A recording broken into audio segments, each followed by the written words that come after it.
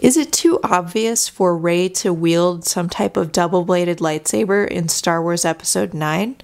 So, I was thinking about this recently because it seems like the prevailing fan theory right now is that Rey will construct her own lightsaber for the next movie or in the next movie, and that it will be some type of saber staff, and it'll possibly incorporate elements of the broken Graflex lightsaber.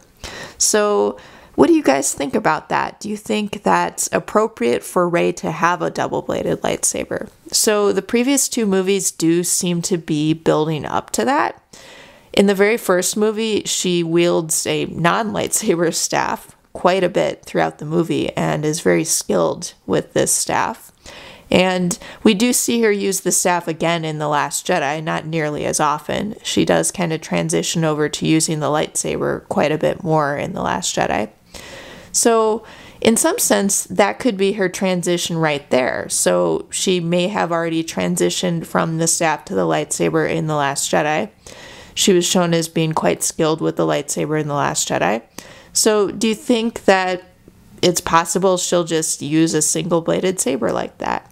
She'll create her own hilt, maybe modeled after the Graflex saber, maybe not. Um, I, I would be really surprised if she doesn't incorporate some aspect of the Graflex saber into her new lightsaber, but you never really know.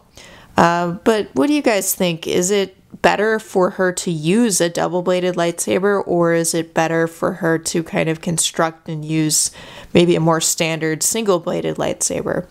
I'd love to hear what you guys think in the comment section.